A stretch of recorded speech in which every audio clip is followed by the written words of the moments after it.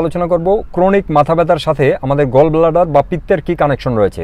তো gall bladder হচ্ছে আপনার লিভারের ঠিক নিচে একটা ছোট একটা স্যাক লিভার বাইল বিআইএলই বাইল উৎপাদন করে এবং এই স্যাকের মধ্যে জমা রাখে।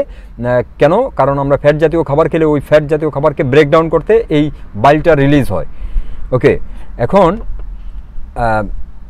মাথা ব্যথা মাথা ব্যথা সম্বন্ধে অনেকের ধারণা যে যেহেতু মাথার ভিতরে ব্যথা, সেহেতু ওই ব্যথার মূল কারণ ওই মাথার মধ্যেই। অ্যাকচুয়ালি না নাইনটি নাইন পার্সেন্ট সময় ওই ব্যথার কারণ অন্য কোথাও থেকে আসছে।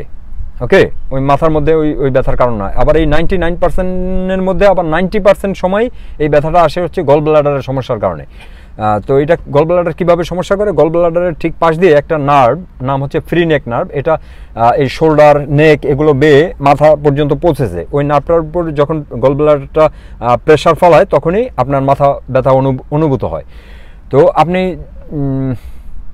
কীভাবে বুঝবেন যে আপনার মাথা ব্যথার কারণ হচ্ছে গল ব্লাডার জাস্ট আপনার যে রিপকেজ যে পাজর, পাজরের সবশেষ যেই হাড়টি রয়েছে সেটার নিচ দিয়ে এভাবে আঙ্গুল ঢুকিয়ে আপনি প্রেস করলেন।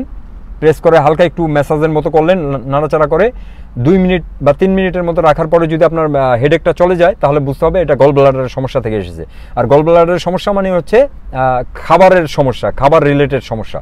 তো কি ধরনের সমস্যা? যেমন আপনি নাটস বা বিভিন্ন ধরনের যে বাদাম, এগুলো যদি একটু বেশি কোয়ান্টিটি আমরা খাই, তাহলে গল ব্লাডারের সমস্যা হয়। আবার ফ্যাট এবং কার্বোহাইড্রেট জাতীয় খাবার একত্রিত মিশ্রণ করে খেলেও এই সমস্যা হয়। আবার স্টোমাক পাকিস্তলির মধ্যে যদি অ্যাসিডের লেভেল উইক থাকে, তাহলেও এই সমস্যা হতে পারে।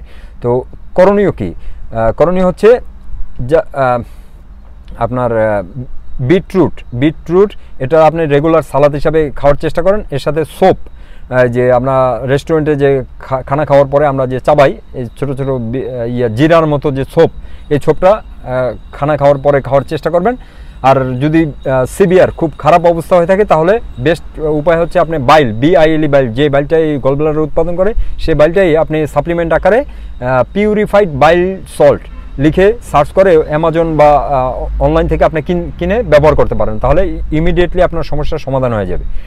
আর এছাড়াও আরও আরও দশ পার্সেন্ট অন্যান্য কারণ আছে। যেমন আপনার মহিলাদের মান্থলি পিরিয়ডের সময় যে মাথা ব্যথাটা হয়ে থাকে বা আপনার কোনো একটা অ্যাক্সিডেন্ট হয়েছে, ওই অ্যাক্সিডেন্ট থেকে আপনার মাথা ব্যথা অথবা আপনার যে ঘাড়ের মধ্যে যে ইয়া নার্ভ আছে, ওই নার্ভগুলো পিঞ্চ পিঞ্চ নার্ভ বলা হয় সেই নার্ভের কারণে হয়ে থাকে, যেগুলোর জন্য অন্যান্য ট্রিটমেন্ট ট্রিটমেন্ট দরকার। কিন্তু নাইনটি পার্সেন্ট সময় এটা গল ব্লাডারের জন্য হয়ে থাকে।